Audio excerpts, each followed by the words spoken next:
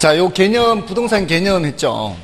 예, 부동산 개념 했는데, 제가 지금 이렇게 지울 때, 여러분 머릿속에서도 지워질까 걱정이 돼요. 저렇게 하면서 이렇게 그 잔상이 남아있는 게 좋거든요. 잔상이. 그러니까 부동산 개념 하면은 법경기 해서, 법적 개념은 협의, 광의 해서, 협의의 부동산은 토지 및 그 정착물. 그 다음에 광의의 부동산은 거기에다가 준부동산, 이렇게. 정착물은 다시 예, 독립정착물, 종속정착물. 독립정착물의 세 가지. 음, 건물, 명인방법 갖춘 수목, 농작물, 그렇지. 예, 이러면은 이제 됐고요. 그 다음에 준부동산은 특징, 가장 키워드가 등기 등록이라는 공시방법.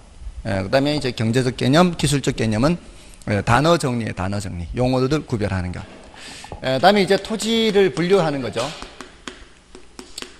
에, 토지를 분류하고 이제 건물도 분류가 있어요. 건물 분류가 있는데 이제 주택 분류만 좀 할 거예요. 그 건물 분류 중에서도 음, 주택 분류만 좀 할 거고요.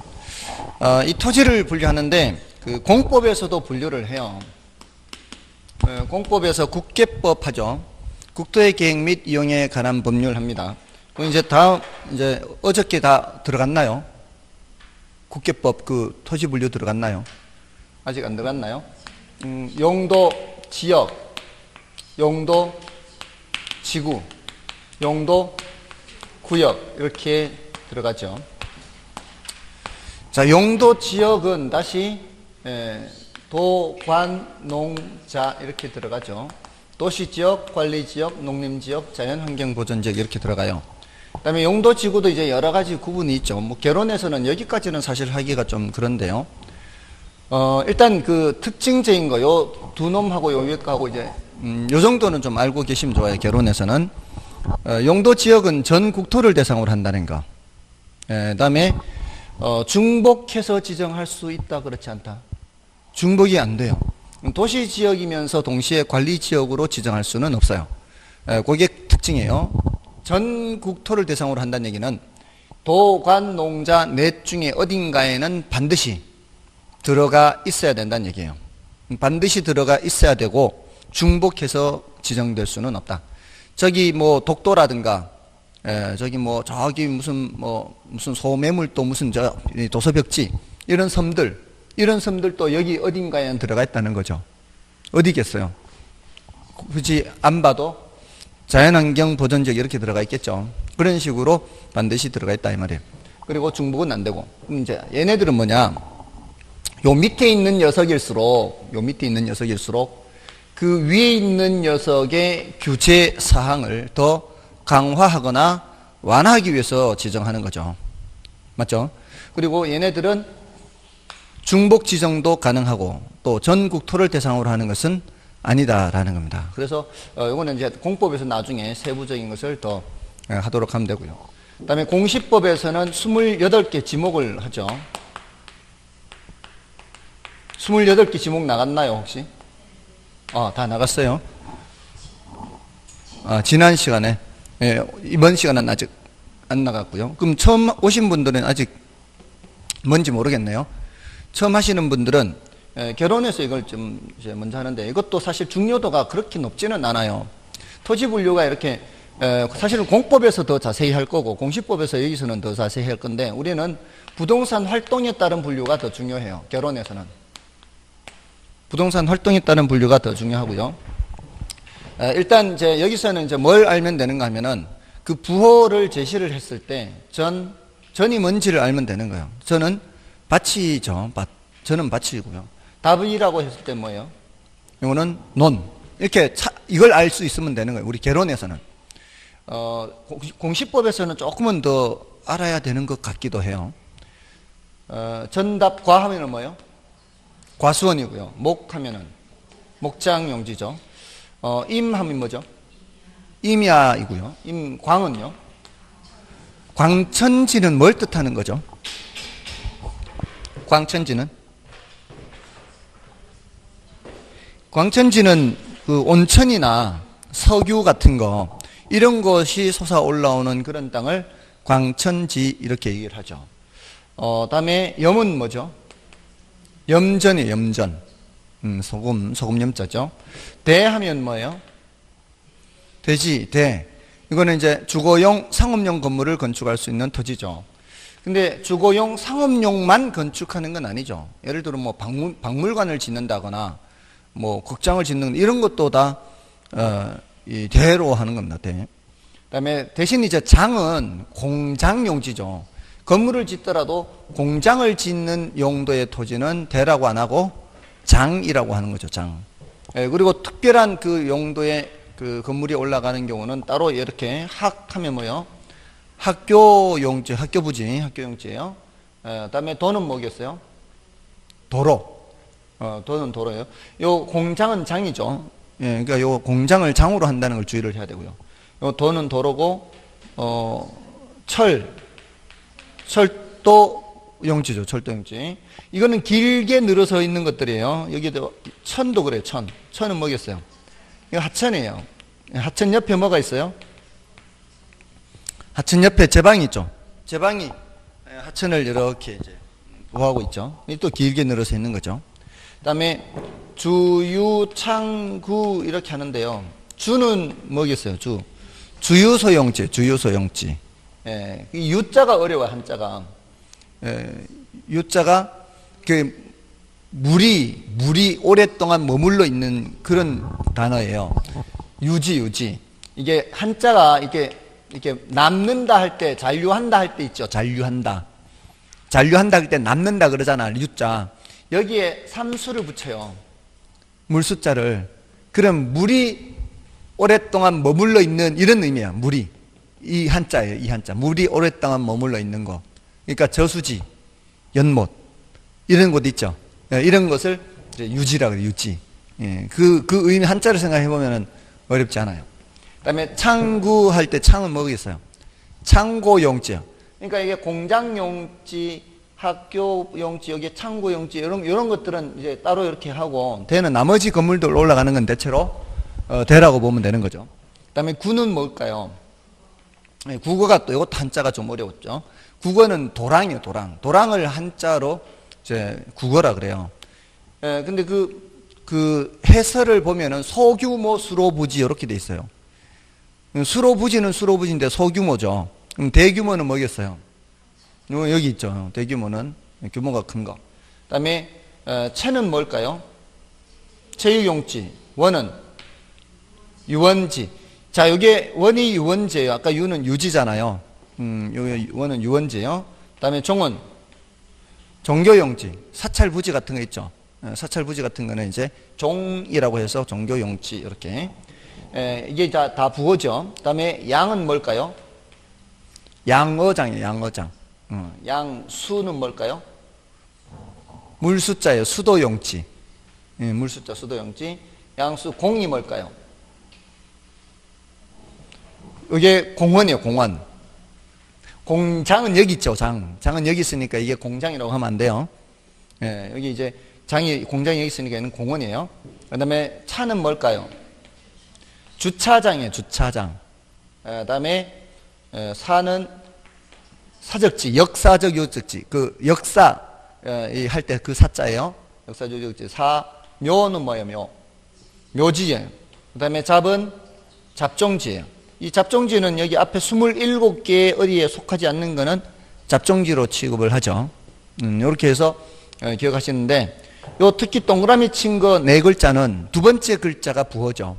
차장천원 해서 어, 요두 번째 예, 주차장의 차, 공장의 장, 요거는 하천의 천, 예, 요거는 유원지의 원이죠. 이렇게 차장천원 요 네 글자만 알면은 나머지는 비교하기가 어렵지 않아요. 구별하기가.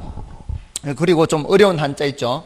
어려운 한자들은 좀 따로 사, 가좀 어려우면 이제 예, 본인 입장에서 좀 어려운 거 생각하면 되죠. 어, 본인 입장에서 어렵게 느끼시는 게 다른 사람이 어렵게 느끼시는 거하고 또 다르죠. 그러니까 본인 입장에서 어, 잘 생각이 안 나는 것들만 몇 개 더해서 기억하면 되겠습니다. 제시했을 때 찾으면 되니까 구별만 하면 돼요. 됐죠? 근데 이제 우리 예, 부동산 학교론에서는 부동산 활동에 따른 분류가 더 중요해요. 예, 그래서 넘어가시면은 25쪽이죠. 부동산 이용 활동상 분류해서 음, 여기 이제 더 중요합니다. 어, 여러분들은 원래 꿈을 꾸신 게 어떤 목표를 세운 게 있나요? 원래 목표? 여기 합격? 어, 다들? 어, 그거를 누구 주변 사람들한테 많이 소문을 냈나요? 소문을 내야 합격할 가능성이 높아지는 거예요. 소문을 내야 돼요. 그래야 어, 주변 사람들한테 에, 협조도 얻을 수가 있고요. 에, 그리고 말을 해놓은 것 때문에라도 어, 안 할 수가 없죠. 에, 말을 해놓은 것 때문에라도 안 할 수가 없어요. 에, 제가 식스팩을 만들라고 어, 선언을 해놓고 난 후에 안 할 수가 없는 거예요. 에, 아침에 일어나서 20분씩 에, 복근 운동하고 이렇게 leg raise도 하고 어, 안할 수가 없어요. 그러니까 되든 안 되든 간에 음, 제가 목표를 어, 세우긴 했는데 달성할 가능성이 높지는 않을 것 같은데 근데 그렇게라도 해서 하면 뭔가 뭔가는 하겠죠. 예, 사실은 제가 2년 전 이맘때 2년 전 이맘때 어, 수영을 목표를 세웠었어요. 수영을 50분 내에 2km 가기. 예, 수영을 50분 이내에 2km 가기 이제 1년간 목표였어요. 그해 이제 연말까지. 근데 달성이 안 되죠. 이게 에, 이게 쉬지 않고 100m도 가기가 쉽지 않은데 2km를 가는 거는 힘들죠. 근데 그해 이제 1년 지난 시점에서 2km를 한 55분 정도까지는 땡겼어요. 2km를. 근데 그거를 지난 11월 달에 달성했어요. 그러니까 그 해에는 달성 못 했는데 거의 2년 만에 달성했죠. 2년 만에. 그러니까 계속 하다 보면은 뭐 꼭 기간은 안 되더라도 하게 되더라는 거죠. 그래서 이제는 식스팩의 이제 목표를 잡아서 되든 안 되든 원래 안 되면 내년이라도 아무튼 그렇게 하려고 그래서 이제 방송 탔잖아 지금 전국적으로 해놨으니까 안 할 수가 없는 거죠. 이렇게 해야 선언을 해야 되는 거죠. 일단 예, 주변 사람들한테 자꾸 알려야 돼요. 그래야 예, 자기가 말하는 것을 약간이라도 책임져야 되니까. 그리고 그렇게 해놓으면 주변 사람들이 예, 공부를 하더라도 아, 저 사람은 이렇게 원래 저게 목표니까 좀 이렇게 협조도 하고 이렇게 하는 거죠. 근데 대부분 이렇게 몰래 몰래 하려고 하는 사람들은 이게 합격할 가능성이 낮아요. 왜냐하면 처음서부터 이, 이 동력이 낮은 상태에서 시작하는 거예요. 그렇게 하면 이 동력이 낮아요. 그러니까 어쨌든 뭔가를 하려고 하면 이제 열심히 해야 되니까 그렇게 주변에 광고를 하고 하십시오. 자, 아무튼 자 이제 부동산 활동은 이제 그 부동산 활동에 따른 분류예요. 이 이제 대지 택지 부지가 있죠. 대지 택지 부지. 일단 그 대지는 일단 남겨놓으세요. 이거는 예, 남겨놓으시고요. 어, 왜냐하면 이거는 건축법에도 대지란 말이 나오고 도시개발법에도 대지란 말이 나오고 여기 대라는 말도 있죠. 지적법상. 이게 에, 각각의 내용이 조금씩 달라요. 조금씩 달라서 어, 이거를 질문하기도 좀 껄끄러워요. 그래서 이것은 이쪽으로 택지를 중심으로 해서 이쪽으로 기억하세요. 일단은 음, 이것까지 보려고 하지 마시고요. 이거는 이제 분량만 많고 어, 오히려 이제 헷갈릴 수가 있으니까 그래서 택지 부지 이렇게 구별하세요. 근데 이제 일단 택지라고 하면은 우리 택지 개발한다 그러잖아요. 택지라고 하는 거는 뭐 보통 우리 임야나 논밭으로 사용하던 거를 택지 개발해서 이렇게 하는 거 아니에요. 여기도 그렇게 해서 신도시 개발한 거 아니에요. 그럼 택지를 개발한다는 거는 결국은 인간이 뭔가를 건물을 짓겠다는 뜻이거든요. 개발한다는 얘기는. 근데 그 건물이라는 게 주거용이든 상업용이든 공업용이든 뭐 다양한 건물을 짓는 거죠.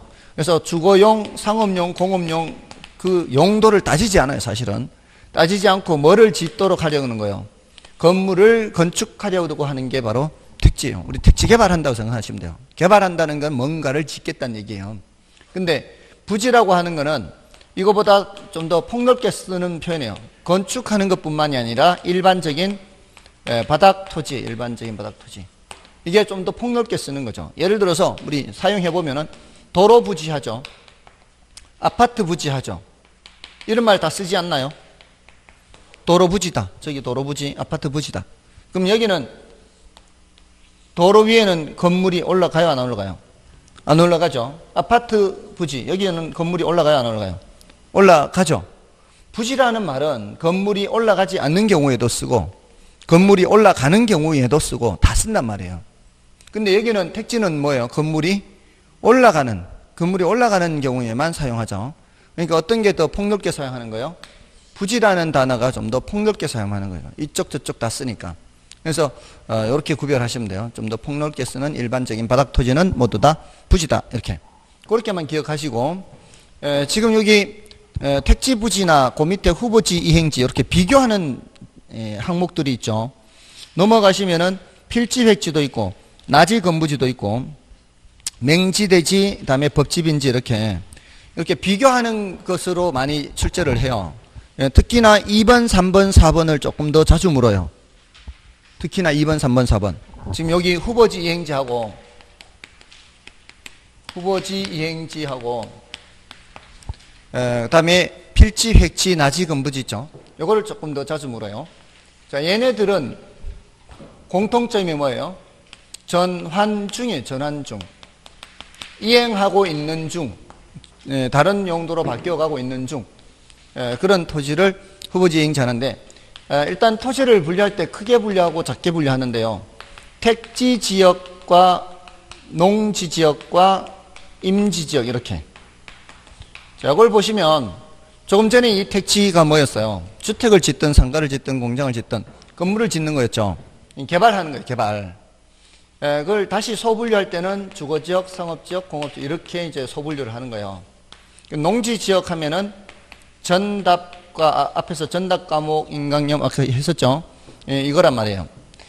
예, 여기서는 구분 자체가 별로 중요하지 않고요. 네, 여기서 보셔요. 임지 지역과 농지 지역, 택지 지역은 어떤 획기적인 변화가 있는 거예요. 임지 지역은 자연이 준 상태에서 사람의 손길이 거의 닿지 않는 거죠. 그대로 둔 거예요, 그대로. 근데 농지 지역은 어떻습니까? 자연이 준 그대로의 상태가 아니죠. 무엇을 한 상태요? 개간을 한 상태, 개간. 농사 짓기 위해서 개간을 한 상태. 근데 농지 지역에서 특지 지역으로 가면은 개발을 한 상태, 개발. 그러니까 건물이 없던 땅에서 건물이 있는 땅으로 바뀌는 거죠. 그러니까 사람의 손길이 닿지 않은 땅에서 사람의 손길이 닿은 땅으로 바뀌는 거죠. 그러니까 여기에서 이렇게 바뀌거나 이렇게 바뀌는 거는 획기적인 변화가 있는 거죠. 대분류상 전환 중인 토지를 후보지라고 해요, 후보지. 근데 같은 범위 내에서 주거 지역에서 상업 지역으로 바뀌거나 공업 지역에서 상업 지역으로 바뀌고 어차피 건물 있던 땅에서 건물 있던 땅으로 바뀌는 거예요. 여기는 농사 짓던 땅에서 농사 짓던 땅으로 바뀌는 거예요. 그러면 같은 범위 내에서 움직이는 건 뭐고요? 이행지라 그러고요. 이 범위를 벗어나는 토지는 후보지라고 부르는 거죠. 그럼 전에서 주로 가는 건 뭐겠어요? 후보지가 되는 거죠. 땅이 이제 건물이 없는 땅에서 건물이 있는 땅으로 이렇게 획기적인 변화가 있는 거는 뭐예요? 후보지 이렇게 되는 거죠. 예, 그래서 대분류상 전환 중인 토지 후보지, 소분류상 전환 중인 토지 이행지 이렇게 해야 되는데 우리 시험에 문제에서 출제할 때는 이렇게 출제해요. 용도 지역 상호간 전환 중 이렇게 이렇게 전환 중이냐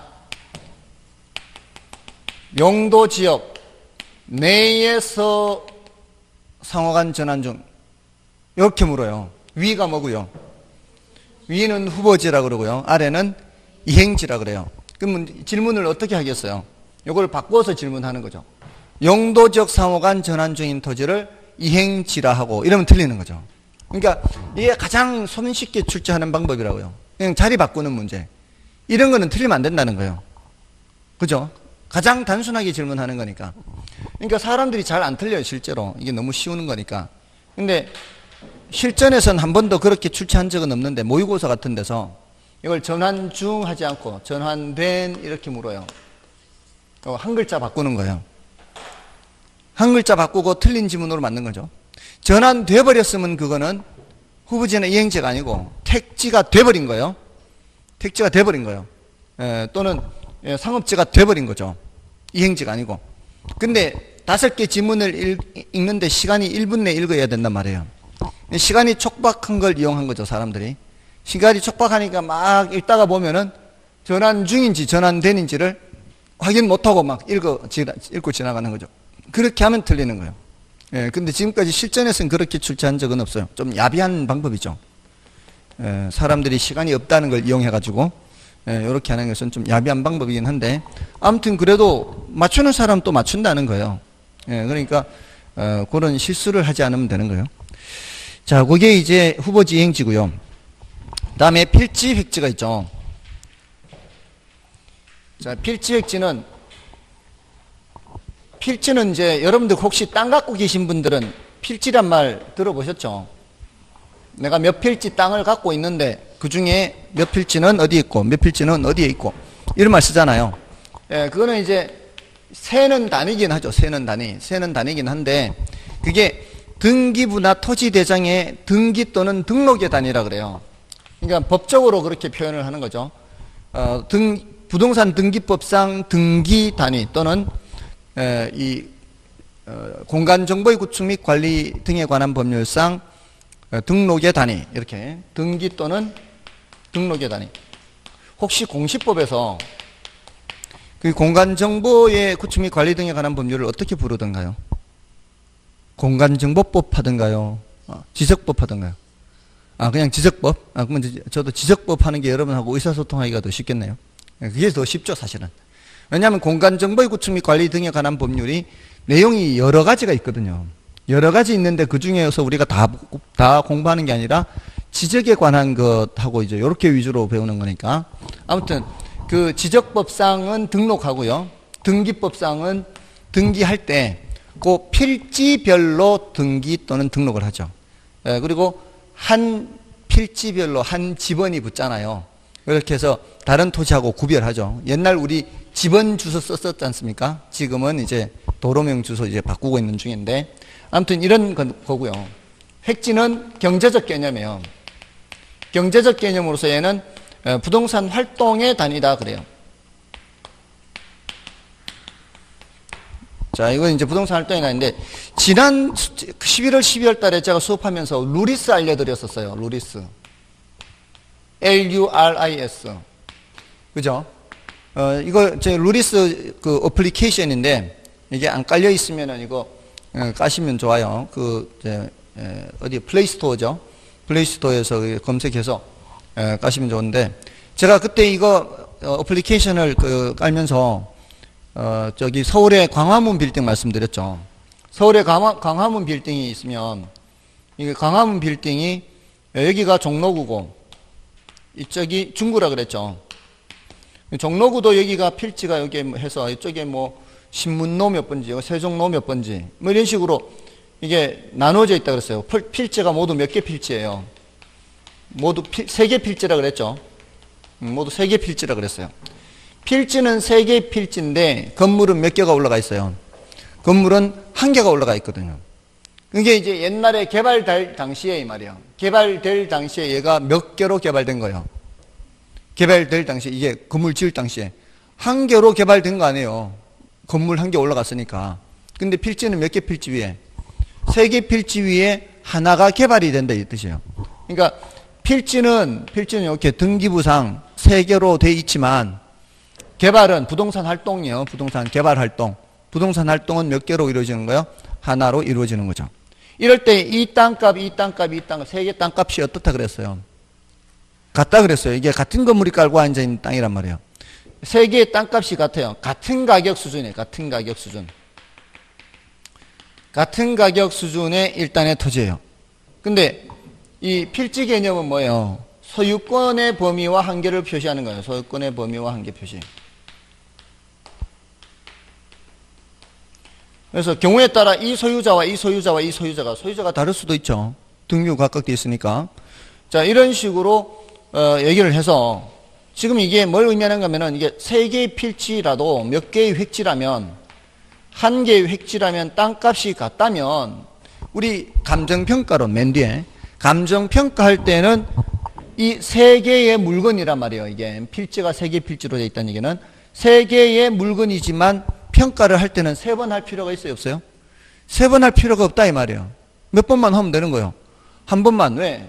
감정평가라는 것은 경제적 가치를 판정하는 건데 경제적 가치가 같은데 굳이 이거를 나누어서 세 번 할 이유가 없잖아요. 몇 번 하고 마는 거예요. 한 번 하고 말아요. 그럼 무슨 평가로 하는가 하면은 일괄평가 이렇게 일괄평가 한 번 하고 만다 이렇게 근데 이럴 수도 있지 않습니까? 이거 공법에도 나와요. 한 개의 필지인데, 한 개의 필지인데, 도시계획선이 이렇게 지나가요. 도시계획선이 이렇게 지나가면은 여기가 주거지역, 여기가 상업지역, 이런, 이런 식으로 나눠진 거예요. 공법에도 나옵니다, 이거. 혹시 이런 거 한 적 있나요? 어, 어, 둘 이상의 용도 지역에 걸쳐 있는 경우. 건축법상. 건축법상 두, 이제 건물을 지을 때 둘 이상의 용도 지역에 걸쳐 있을 때 각각의 적을 받잖아요. 제한을. 그런 거, 아, 건축법 아직 안 했나요? 음, 죄송합니다. 음. 나중에 그런 거 나와요. 각각의 적용을 받아요. 각각의 적용을. 에, 그러면 이 땅값, 이 땅값이 어떻게 써요? 다르죠. 이 땅값, 이 땅값이 달라요. 각각대로. 그럼 필지는 한 개란 얘기는 물건은 한 개예요, 물건은. 근데 땅값이 다르면 이걸 한 번만에 할 수가 없잖아요. 이 부분의 땅값과 저 부분의 땅값을 따로따로 계산해야 될 거 아니에요. 그러면 두 번 해야 되겠죠. 이걸 무슨 평가? 요거를 구분 평가 그래요. 구분 평가. 구분해서 평가한다 이 말. 구분해서 이쪽 부분과 저쪽 부분을 구별한다 이 뜻이에요. 예, 근데 이런 것들은 다 어디에서 나와요? 뒤에 감정 평가에서 나오니까 일단 지금은 아 저런 표현이 있구나라고 들어두시면 되는 거예요. 그래서 필지, 획지 이렇게 구별하면 돼요. 필지 법적 개념, 획지는 경제적 개념, 필지는 등기 등록의 단위, 획지는 이거는 부동산 활동의 단위다 이렇게. 자 그럼 됐고요. 요 정도면 되고요. 다음에 이제 나지 건부지예요. 자 이제 나지 건부지. 이건 단어만 알면 되니까 사실은 여기까지는 안 어려워 부동산 물류는 단어를 주로 묻거든요, 단어를. 예, 그래서 음, 낮이라고 해야 될 때 건부지라고 한다거나 또 이것도 건부지라고 해야 되는데 낮이라고 한다거나 그러면 틀리죠. 예, 자, 요거 이제 구별하는데 어, 앞에서 제가 요거 아까 했었죠. 지상에 건물이 없는 땅 낮이, 건물이 있는 땅 건부지 했었죠. 예, 지금 그거예요. 이게 낮에는 지상에 건물이 없는 땅이고 지, 예, 건부지는 지상에 건물이 있는 땅인데 어떤 게 활용 가치가 높아요? 낮에가 활용 가치가 높죠. 그러면 낮이 가격이 건부지 가격보다는 높은 게 보통 아닌가요? 낮이 가격이 건부지 가격보다 높아요. 그럼 건부지 가격은 낮이 가격보다는 낮은 게 보통이라고요. 그러면 이때 뭐가 나타나는가 하면 건부 감가라 그래요. 건부 감가. 건물이 있어서 가치가 하락한다. 이렇게 건부 감가. 근데 예외적으로 건부 증가가 발생할 수 있어요. 건부지 가격이 더 큰 낮이 가격보다. 이때 뭐가 발생한다? 건부 증가가 발생해요. 건물이 있어서 오히려 가치가 더 높아지는 거예요. 이거 어떤 경우냐면은 어, 여러분들 제가 좋은 곳을 하나 알려드릴게요. 어, 여러분들 원래 시험 보면은 제 10월 26일이죠. 10월 26일이 토요일이죠. 시험을 보시고 어, 이날은 한잔 해야 되니까 한잔 하고 10월 27일은 편안하게 쉬고 있다가 10월 28일 월요일 되면은 이제 평일이니까 조용할 거 아니에요. 일요일은 복잡할 거고 요날 어딜 가는가 하면은 단풍 구경 가면 돼. 단풍. 이때 단풍 구경하기에 딱 좋은 시절이야. 딱, 알, 딱 알맞은 시기예요. 더군다나 평일이잖아요. 평일이면은 굉장히 한산하게 즐길 수가 있어요. 어, 혹시 청풍호라는 데 갔다 오셨어요? 청풍호? 안 가보셨어요? 들어보셨어요? 가봤어요? 예, 예, 예. 가봤어요? 언제 가봤어요? 살았어요. 아, 그렇구나. 그러면은 정말 예, 경치 좋은 데 살았겠네. 그죠? 거기가 그 충주댐을 막아서 생긴 호수란 말이에요. 충주댐. 근데 그게 가을에 이게 호수가 이렇게 막 안 보이죠? 저막그 예, 골골이 이제 이렇게 이렇게 이런 식으로 돼 있을 테니까 이렇게 여기 이제 물이 있는데 제가 다녔던 곳 중에 단풍이 그렇게 이쁜 곳이 별로 없어요. 정말 단풍이 이뻐요. 근데 이 산에 단풍들이 있을 거 아니에요. 이 산에 단풍들이 물에 비쳐가지고 그 물에 비친 그 단풍이 너무너무 이쁜 거예요. 근데 그게 드라이브 코스가 이렇게 있는 거예요. 드라이브 코스가. 이 호수 따라. 그리고 가다 보면은 조금 높은 곳에 이제 모노레일 타고 올라가는 곳도 있어요. 그럼 그 올라가면은 그 패러글라이딩 그 활강하는 그 저거 있잖아요. 그 장소도 있어요. 그 거기서 내려다 보면 그 풍경이 너무 너무 이뻐요. 근데 에, 요때 딱 가면은 그게 딱 제일 좋을 때요. 음, 제가 어, 2년 전인가 저기 출판사 어, 어, 직원들 그 뭐냐 워크숍 하는데 이제 제가 1박 2일 코스로 제가 안내를 했어요. 가이드를 했어요. 거기를. 예, 그렇게 해서 어, 단양 영월 이렇게 넘어가는 요 1박 2일 코스를 했는데 다들 너무너무 좋았다고. 음, 풍경도 좋았고 또 이렇게 뭐 동굴 같은 것도 보고 또 음, 저기 예, 영월 가면은 장릉이라는 데가 있거든요. 또. 예, 그런데 이제 문화 답사도 하고 뭐 하여튼 갔는데 너무너무 이뻐요. 예, 여기를 한번 꼭 가보세요. 예, 딱 알맞을 거예요. 꼭 어, 애인하고 같이 가야 돼요. 애인 결혼 안 한 사람들은 애인 결혼 안 했죠. 예, 애인하고 같이 가고 결혼 어, 뭐 아, 애인하고 가도 돼요. 뭐 꼭 남편하고 가라는 말은 아니에요. 정말 경치가 좋아요. 근데 그 제가 뭔 얘기 하려면 가다 보면 요 돌출된 부분들 있죠. 요 돌출된 부분들이 다 별장이 있어요. 별장이. 그 경치 좋은 곳에 별장들이 있어요. 너무너무 부러워요. 근데 가다 보면은 여기에 옛날 농가주택이 아직 그대로 있는 게 있어요. 이게 여기가, 여기가 이제 물이 찼으니까 지금 이런 거 아니에요. 물이 차기 전에는 저 위였겠죠. 물이 차니까 지금 이렇게 된 거예요. 그 물이 차기 전에는 저 아래 내려다 보이는 그런 곳이었겠죠. 농사 짓던 그 농가주택이 있을 거 아니에요. 그게 지금 여기 남아있단 말이에요. 수몰 되면은 보상받고 나가겠지만. 자, 그러면은, 요런 땅, 허름한 농가주택이 있던 땅. 지금 요런 것들이 대체로 어떻게 해서 생긴 거예요? 이런 땅을 사서 지은 별장들이에요. 예? 자, 그러면 이런 지역이, 용도 지역이 뭐라고 돼 있을까요? 용도 지역이. 자연환경 보존 지역으로 돼 있을 것이고, 또 예, 뭐 수도법인가 뭔법에 상수원 보호구역이 돼 있을 것이고 경치 좋고 이런 데는 다 개발이 제한돼 있을 거 아니에요. 그 개발이 제한돼 있는 땅은 개발이 제한돼 있는 땅은 개발이 제한되는 그 당시에 건물이 없던 땅은 앞으로도 못 지어요. 이제 더 이상 개발을 못하게 한다고요. 근데 개발 제한할 당시에 이미 건물이 있던 땅은 요거를 헐고 새로 지을 수가 있다 이 말이에요. 그러니까 이런 땅은 다 별장 있는 땅은 옛날에 다 농가주택으로 사용하던 데를 사가지고 별장 지은 거라고요. 그럼 요것도 어떻게 해? 요 옆에 나지가 있어요, 나지 옆에. 나지가 있는 거는 새로 건물 지을 수 있어요, 없어요? 없어요. 근데 요런 땅은 지을 수가 있다고요. 뭐가 가능하면 증, 개, 재축이라는 게 가능해요. 증축은 뭔가 하면 증축은 증축은 규모를 조금 늘리는 거예요. 근데 그 규모를 늘리는 게 원래 건물의 규모에 따라 달라져요. 원, 원래 건물의 규모가 크면 증축의 규모도 좀 더 클 것이고 원래 건물의 규모가 작으면 증축의 규모도 작겠죠. 그러니까 구체적으로 어떻게 어느 정도의 증축인지는 그거는 건축법을 봐야 돼요. 근데 약간의 규모를 늘리는 정도는 괜찮아요. 그 다음에 개축하는 거는 뭔가 하면 헐고 새로 짓는 거예요. 헐고 새로 짓는 거는 개축이라 그래요. 그러니까 우리가 그냥 일상적으로 그냥 지나가면서 볼 때 저거 뭐 건물 신축하는데 이렇게 하는 거는 잘못 말하는 것일 수도 있어요. 아무것도 없던데 새로 짓는 거는 신축이에요. 그리고 증축의 범위를 벗어나서 짓는 것도 신축이에요. 증축의 범위를 벗어나면 신축이에요. 그러니까 어, 증축의 범위를 벗어나서 새로 짓거나 원래 있던 곳을 새로 짓거나 전부 다 뭐예요? 신축이잖아요.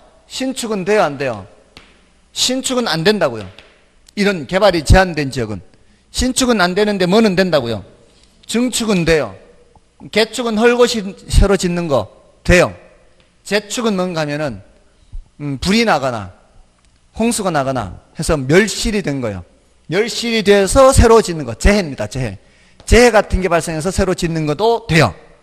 그러면 이런 거는 이게 훨씬 활용 가치가 높을 거 아니에요. 음, 그러면은 에, 이런 거는 오히려 건부지 가격이 더 높을 수 있다 이 말이에요. 그런 경치 좋은 곳은 에, 정말 그때 드라이브 하면서 아, 정말 부럽더라고요 그런 거. 저런 거 하나 짓고 좀 살고 싶은 그런 생각도 들더라고요. 제가 별로 욕심이 없는 편인데 에, 그런 거는 욕심 생기더라고요. 에, 제가 별로 욕심이 없다는 건 앞으로 수업 들어보시면 아실 거예요. 에, 제가 이 세종시의 거의 원주민이거든요. 왜냐하면은 처음 세종시 첫마을 생길 때 그때 이사 온 사람이에요. 그러면은 그 첫마을 얼마 안 되잖아요. 그 원래 여기 살던 조치원하고 여기 살던 사람 빼고는 거의 원주민 아니에요. 근데 그동안에 여기 한 번도 분양을 해보거나 이렇게 해본 적이 없어요. 욕심이 없어서. 음. 다른 사람 몇 번 해가지고 이렇게 분양받아가지고 해먹고 다시, 그때는 몇 개월만 지나면은 됐는 겁니다. 6개월만 지나면 다시 1순위였어요. 근데 그거 한 대여섯 번 지날 때까지 저는 한 번도 넣은 적이 없어요. 어, 정말 욕심이 없는 사람이에요. 예, 그때 당시에 저기 그 저기 뭐죠? 그 금강 그 변에 사, 그 자전거 도로 있잖아요. 사대강 사업하면서 그 지나갈 때 지금 시청 있는 자리 그 저 저쪽으로 전부 다 허허벌판이에요. 저기 저렇게 들어설까도 상상도 못했어요. 저는 솔직히 그냥 허허벌판이었으니까 도로하고 이제 천말 있는 쪽에 그 세종보 있는 쪽, 그, 그 천말 아파트 그것만 있고 없었거든요. 그 자전거 타고 다니면서 야 경치 좋다, 뭐 좋네 하고 이렇게만 다녔지 거기에 그게 분양이 돼서 그렇게 될 거라고 생각도 못했어요. 그리고 처음에 분양했을 때 미분양이 많았어요. 찍어 샀대요. 찍어서 찍어서 서울서 내려온 사람 금강 조망권 해가지고 그 BRT 그 이거 역, 그거 하고 해가지고 찍어서 샀는데 거의 거의 더블 가까이 올랐었잖아요. 지금은 좀 조정됐는지 모르겠지만 그때도 저는 그냥 경치 좋네 하고 다니 이렇게 욕심이 없는 사람이에요. 욕심이 없는 사람인데 이런 건 그래요. 아무튼 이런 나지 건부지 음, 보통은 건부 감가입니다. 건부 감가가 발생하는데 예외적으로 뭐가 발생한다? 건부 진가가 발생한다. 근데 우리 시험에 이렇게 건부 감가가 발생한다 해야 되는데 건부 진가가 발생한다 이렇게 출제를 하는 거죠. 예, 그렇게 어렵지 않게 출제가 됩니다. 에, 다음에 그 이제 용어 하나를 좀 설명드릴게요. 나지라고 할 때는 나지라고 할 때 그 26쪽의 맨 밑에 보세요. 나지란 토지에 건물 기타 정착물이 없고 어, 지상권 등 토지의 사용 수익을 제한하는 사법상의 권리가 설정되어 있지 아니한 토지를 말한다 이렇게 돼 있죠. 그 어, 토지의 사용 수익을 제한하는 사법상의 권리라는 게 뭔가 하면은 어, 그 이제 사법상 제한 이렇게 생각하면 돼요. 사법상 제한. 예, 그다음에 이제 오른쪽 페이지로 넘어가면은 공법상 제한이 있어요. 토지의 사용 수익을 제한하는 사법상의 권리 밑에 어, 공법상 제한 있죠. 이렇게 예, 둘로 기억니은을 이렇게 보시면 돼요. 사법상 제한. 이 에, 용어를 좀 설명드릴게요. 여러분들 아직 익숙지 않을 테니까 이 사법상 제한이 뭔지, 공법상 제한이 뭔지. 사법 하면은 개인과 개인 간의 관계를 규율하는 법이고요. 공법 하면은 국가와 개인 간의 관계를 규율하는 법이에요. 그러면 그 사법상의 어떤 제한 사항을 어겼을 때 우리가 치러야 되는 대가가 뭘까요? 사법상의 제한을 어겼을 때 치러야 되는 대가. 손해배상, 손해배상. 민사, 민사에 대해서 뭔가를 어겼을 때에는 손해배상으로 가는 거예요. 근데 공법상 제한을 어겼을 때는 치러야 되는 대가가 뭘까요? 형사처벌이요. 공법상 제한을 어겼을 때 형사처벌이에요. 형사처벌 받는 거예요. 금지사항을 어겼을 때는. 형사처벌이 제일 센 게 뭐예요? 사형. 형사처벌이 제일 센 게 사형. 그 다음에 무기징역. 그 다음에 유기징역. 그 다음에 금고. 금고와 징역의 차이가 뭐예요? 징역은 강제 노역이 있는 거예요. 강제 노역이. 금고는 강제 노역 없이 가두어 놓는 거. 금고는. 강제 노역이 있는 거는 징역. 하기 싫어도 해야 돼요. 근데 금고는 강제 노역이 없는데 가만히 들어앉아 있으면 심심할 거 아니에요. 지가 알아서 하는 거야. 뭐 관계 없겠죠. 예, 금고는 그냥 강제 노역이 없어요. 그 다음이 벌금이에요. 벌금이 형사처벌로는 제일 약한 거예요. 예, 그리고 과태료는 행정, 행정 처벌이기 때문에 형사처벌로 들어가지는 않아요. 과태료는. 그러니까 과태료는 붉은 줄 안 그이잖아요. 과태료는 붉은 줄 안 그이, 안 그이잖아요. 우리 뭐 신호 위반 뭐 이런 거 해서 붉은 줄 안 그이잖아요. 근데 벌금은 붉은 줄 그인다 이 말이에요. 쉽게 말하면 이게 벌금은 형사처벌이니까. 아무튼 근데 대부분 이제 사형은 웬만해서는 없는 거고 그 저기 중개사법에 그 뭐 저거 어기면 있잖아요. 3년 3천만 원 뭐 이렇게 하는 거 있잖아요. 그게 3년 3천만 원 이런 것들이 다그 음, 형사처벌이라고 3천만 원 이하의 벌금이나 3년 이하의 징역 이렇게 하는 게 됐나요? 예, 이건 그거요. 근데 이제 사법상 제한이 뭔지 공법상 제한이 뭔지를 이제 확인하거나 이런 어떤 것들이 있는지를 보려면 얘는 등기부를 봐야 돼. 등기부. 등기부에 이제 뭐 예, 개인이 개인이 그 뭐 소유주가 어, 자신의 권리를 제대로 행사 못하게 되는 거. 그러니까 지상권이 설정되어 있으면은 지상권이 설정되어 있으면은 이 사람이 사용을 못 해요. 주인이. 그죠? 그런데도 불구하고 사용하려고 이렇게 이렇게 방해를 하면은 이때 못 하겠으니까 손해배상을 하거나 뭐 이렇게 해야 되는 거죠. 근데 여기서는 뭘 봐야 되는가 하면은 토지 이용 계획 확인서를 봐야 돼요.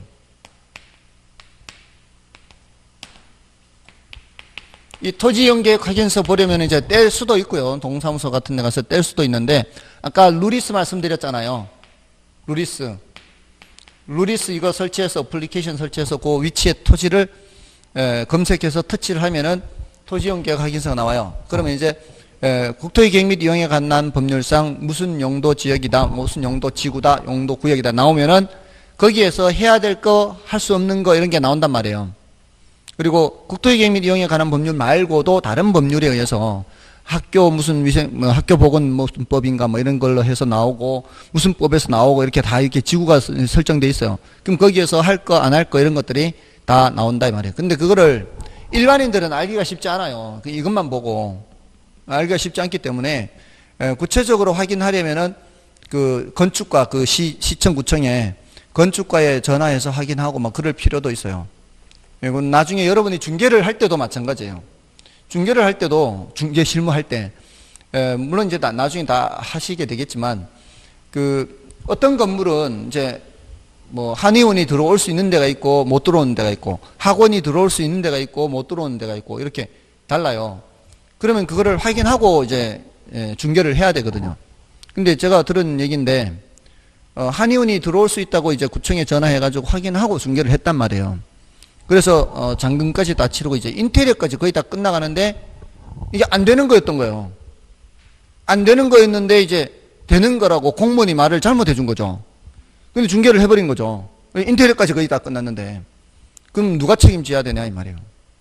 누가 책임져야 돼요? 1차적으로는 중개예요, 중개. 1차적으로는. 그러니까 그런 얘기를 들을 때는 문서나 저걸로 받아야 돼요. 녹취를 하든가. 공문 발뺌은 어떻게? 나 아, 그런 말 안 했는데? 내가 언제 그런 말 했어? 이렇게. 그잖아요. 음, 그러니까 그런 것들을 할 때는 문서로 주고받는 게 제일 좋아요.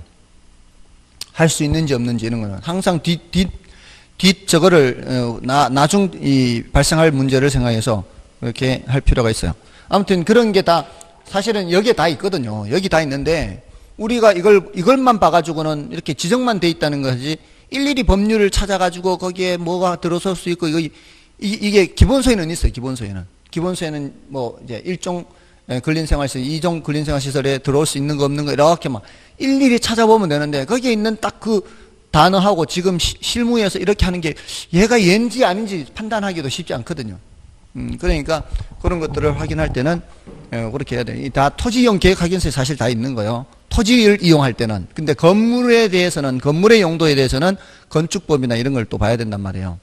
에, 아무튼, 에, 그런 에, 것들을 확인하고 해야 됩니다. 자, 그 이제 건두지, 나지 건무지에서 좀 말씀드리는 거고요. 나머지는 일단 나중에 보세요. 그 다음에 이제 5번에 맹지와 대지 있죠.